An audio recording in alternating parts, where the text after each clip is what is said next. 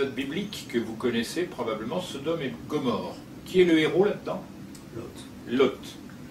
Et la pièce tournait autour de cette situation. Lorsque Lot et sa famille sont partis de Sodome, les instructions des anges avaient été très claires. Ne, alors, écoutez bien. Non, non. Attendez, je vais expliquer ce qu'il aurait fallu traduire. Dans les Bibles ordinaires, on dit ne vous retournez pas, sinon vous seriez transformé en statue de ciel, de sel.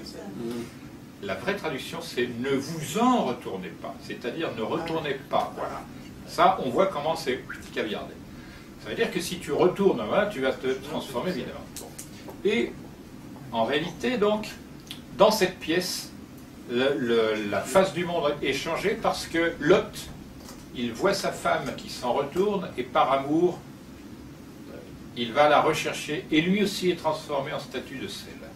Non mais ça c'est une liberté de création, etc. Et l'abbé, qui était tout content de sa trouvaille géniale, il ose écrire sans s'en apercevoir L'amour a vaincu Lot. Mais quand le mec il dit ça sur la- l'amour a vaincu Lot, il veut pas la mienne? C'est dans le canon parmi les spectateurs. Il y a mieux que cela.